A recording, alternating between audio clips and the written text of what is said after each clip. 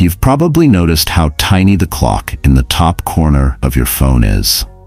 Even if your eyesight is sharp, the time icon can still be annoyingly small, and it makes you wonder why Android hasn't given us an easier way to adjust it. A bigger, clearer time display would save a lot of squinting and frustration. That's exactly what I'll be showing you today. A simple, universal method to make your time icon larger and more comfortable to read. Once you know this trick, you'll never go back. So, welcome to the channel and let's dive straight in. The very first step is unlocking your phone's hidden functions. This is done through developer options. The process is easy, and I'll guide you step by step on this phone so you can follow along. Start by opening the main settings menu. Scroll down and tap on About Phone. Then scroll again until you find Software Information. Inside, look for Build Number. Tap on it seven times in quick succession. You'll see a notification pop up confirming that Developer Mode has been enabled. Perfect, now the hidden features are unlocked. Next, we'll actually use them to adjust the size of the time icon. Head back into Settings, and in the search bar at the top, type Developer. From the results, choose Developer Options. Scroll down until you find the section called Drawing.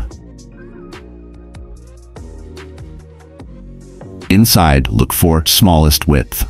By default, this number may be something like 380 on your phone. Here's the rule. The smaller the value, the bigger the time icon and other icons in your status bar. But there's a safe range to work within. You should keep the value between 300 and 400. For example, if I change mine from 380 down to 320 and tap OK, instantly you'll see the time icon, battery, and status icons grow larger and much easier to read. However, you'll notice one side effect. The text and app icons on your home screen also become bigger. Some people prefer it that way, but if you'd like only the status bar icons to stay larger while keeping your desktop icons and text normal, here's how to fix it.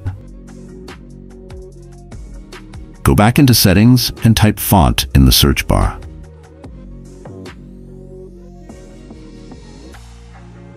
Open font settings, and here you can reduce the text size back to your preferred level. Then, go back again, and this time type icons in the search bar. Open icon settings, and you'll be able to adjust the size of the desktop icons back down. Now you've got the best of both worlds, large, easy-to-read time and status icons, but your home screen looks normal again. And while we're here, let me show you another helpful tweak. You can add a percentage display next to your battery icon for even more clarity. On this phone, go to Settings, open Notifications and Status Bar, then scroll down and select Battery Indicator.